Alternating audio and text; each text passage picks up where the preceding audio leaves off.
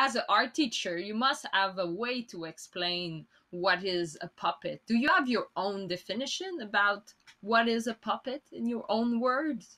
Yeah, yeah. I think some people might be a little surprised by it based on the nature of my work because a lot of people look at my work and kind of think they see one style, and that is most of my work because that's what I get commissioned for the most, and and it's also an aesthetic that I enjoy. But I like doing all types of different forms of puppetry, and even on my family channel, I've been doing a lot of object manipulation for puppetry. But so for me, I've always thought of puppetry as it's just bringing, giving life to, uh, just creating the illusion of life.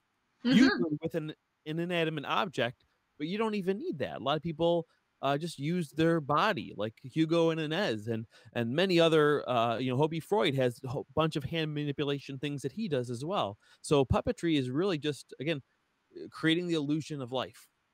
Yes, so you must be a good observer of life to see how like animals move, but also how. Yeah. But it also goes to being an artist too. Like I never quite looked at life the same once I started doing like uh um what do they call uh live drawings of, of uh-huh. live models and stuff. It really just makes you look at because you're drawing, you know, everything and just makes you look at life and and shapes and and how things move in a different way.